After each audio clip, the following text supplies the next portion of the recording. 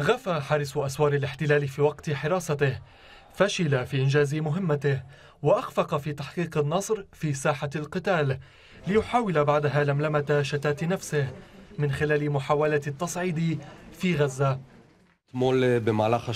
شن جيشنا ليلة أمس غارة على غزة ردا على البالونات الحارقة. أريد أن أوضح مرة أخرى أن الأمور قد تغيرت. إسرائيل تريد الهدوء ولكن العنف والبالونات والمسيرات والإزعاجات على أشكالها ستقابل برد قوي.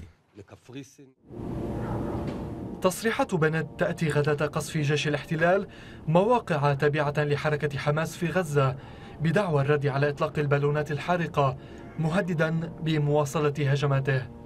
لا شك في أن نيران الإرباك الليلي كأسلوب نضالي بدأ من غزة لفحت تل أبيب بعدما توسعت باتجاه الضفة وقد أحدثت هذه العمليات تطورا في شكل وحجم المقاومة الشعبية تعبيرا عن رفض الاحتلال وممارسته.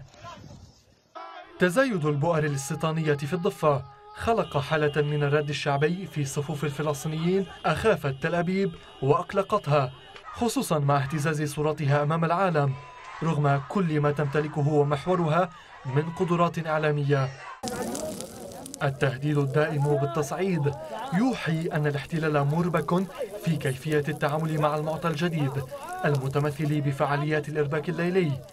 والحكومة الجديدة في إسرائيل التي قامت على ائتلاف غير متجانس تبحث عن استعادة هيبة إسرائيل المهتزة بعد خروجها من معركة هزمت فيها ميدانيا وإعلاميا. فيما معادلات سيف القدس تترسخ يوما بعد يوم.